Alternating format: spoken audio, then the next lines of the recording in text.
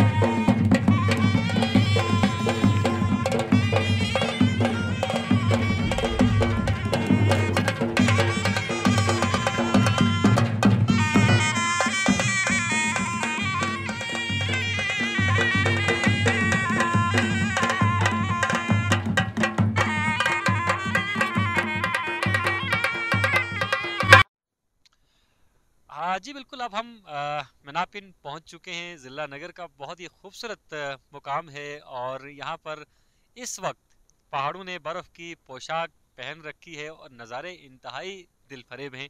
जिस पॉइंट पर मैं मौजूद हूँ ये पॉइंट भी इंतहाई दिलफरेब पॉइंट है। आ, नीचे दरिया बह रहा है और इस वक्त चूँकि दरख्त पूरी तरह से उजड़ चुके हैं मौसम सरमा का टाइम है दरख्तों के पत्ते उजड़ चुके हैं और यकीनन सीज़न में ये इलाका जो है मिनापिन का ये पॉइंट जो है इंतहाई दिलफरेब मुकाम होता है। करीब में दरिया है, सब्ज़े की बहार है, और बुलंद वाला पहाड़ों का हिसार है, और इंतहाई दिलफरेब मुकाम है। यहाँ पर गालिबा एक रिज़ॉर्ट अभी तैयार किया जा रहा है, और रिज़ॉर्ट तैयार करने के लिए इससे दिलफरेब और इससे खूबसूरत पॉइंट कोई हो ही नहीं सकता।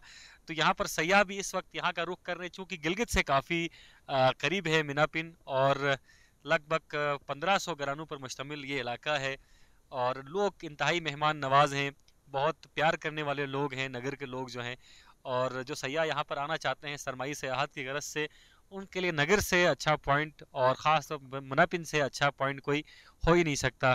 एक दोस्त यहाँ पर मौजूद हैं जो बुलंद वाला पहाड़ों का हिसार देख कर गालिबा काफ़ी मदहोश हो चुके हैं फितरत के रंगों में।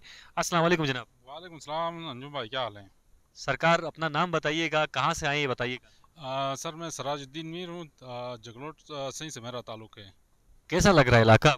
बहुत ही खूबसूरत है बहुत दिलकश दिलकश हैं मनाजिर आपको देखने को यहाँ मिलेंगे। आ, लोग बहुत मेहमान नवाज़ हैं होटलिंग बहुत अच्छी आपको मिलेगी यहाँ पे। आ, लोग बहुत कोऑपरेटिव हैं मेहमान नवाज़ हैं। तो जो मौसम सरमा में जो सयाह यहाँ का रुख करना चाहते हैं उन्हें क्या मैसेज देना चाहेंगे? मौसम सरमा में जो सयाह आना चाहेंगे तो उनके लिए बहुत खूबसूरत पहाड़ों ने एक सफ़ेद चादर ओढ़ी हुई है। आपको बहुत अच्छे नज़ारे मिलेंगे दिलफरेब नज़ारे आपको यहाँ देखने को आपको मिलेंगे। आप बहुत इंजॉय करोगे बिल्कुल बिल्कुल और मैं भी दावत देता हूँ सयाहों को जो सरमाई सयाहत के शौकीन हैं वो लाजमी तौर पर मीनापिन और ज़िला नगर आएँ और इन दिलफरेब पहाड़ों के शहर में बस मदहोश हो जाएँ, फितरत के रंगों में मदहोश हो जाएँ। हमारे प्रोग्राम के माविन और प्रोड्यूसर फैसल जमील अगर दिखा सकें, इन बुलंद वाला पहाड़ों का हिसार दिखा सकें तो रकापोशी मुझे यहाँ पर दिखाई दे रही है। काफ़ी दूर से और रकापोशी जो है बर्फ़ की सफ़ेद चादर में मलबूस पूरी तरह दुल्हन की तरह यहाँ से दिखाई दे रही है। और इस तरफ़ मेरे बाएँ जानब यहाँ दिखाएँ यहाँ पर आपको दिरान पीक दिखाई दे रही है, इंतहाई दिलफरेब और बस दिल कर रहा है मैं उस पहाड़ी तक पहुंचूं किसी भी तरह। इतना खिंचाव और इतना, इतनी कशिश है इन चोटियों में, इन बर्फपोश चोटियों में, कि दिल कर रहा है बस उन्हीं के ऊपर आप चले जाएँ और उनसे हम कलाम हो जाएँ। और रात के मनाजिर में यहाँ से आपको बता दूँ, मिनापिन के, जब रात होती है मिनापिन में तो ये मनाजिर जो है इंतहाई देवमालाई हो जाते हैं और ख़ास तौर पर चाँद की रोशनी भी हो तो आप बस मिनापिन के ही होकर रह जाएँगे। तो एक बार यहाँ का रुख ज़रूर करें और इस पॉइंट पे भी लाजमी तौर पर आए क्योंकि ये पॉइंट बड़ा मुनफरद पॉइंट है।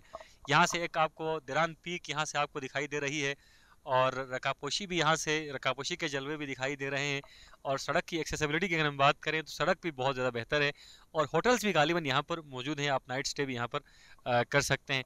तो आगे भी चलते हैं, हमने थोड़ा आगे भी चलना है तो मज़ीद मनाजिर भी वहाँ पर आप लोगों को दिखाते हैं। तो चलें।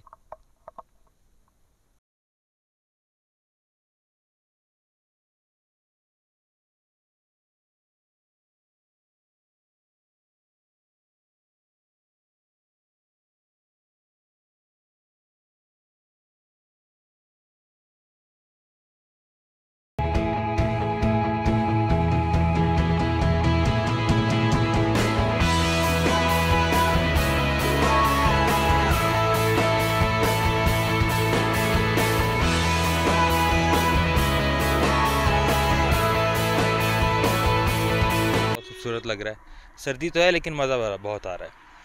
आ, इस तरह की ठंड का अंदाज़ा था आपको? माइनस तीन चार पाँच?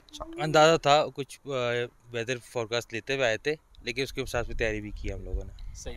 तो आगे स्कर्दू जाने का इरादा नहीं शायद सुना है बंद है अगर खुला हो तो देखते हैं। स्कर्दू की सड़कें तो खुली हुई हैं और स्कर्दू में इससे ज़्यादा सर्दी है। इससे ज़्यादा सर्दी सहने की सख्त है। बिल्कुल बिल्कुल। हिम्मत होनी चाहिए और इन्जॉयमेंट होती है साथ साथ आप मुझे बताएँ यकीन ये मेरे ख्याल में पहला दौरा है नगर का।